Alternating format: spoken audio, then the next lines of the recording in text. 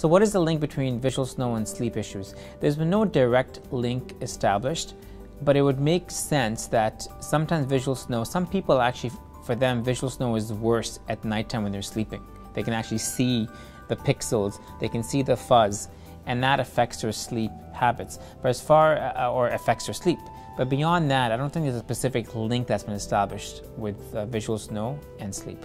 The connection between uh, visual snow and sleep is a little difficult to define, partly because the eye has some other circuitry, the visual system total has some other circuitry that produces a coarser noise, so I don't see a a close connection between those two. Visual snow and sleep problems, I'm unaware of the, a direct link between those two phenomena, but it would not be uncommon, I guess, for somebody who was highly anxious about the disorder, for example, to encounter sleep difficulties.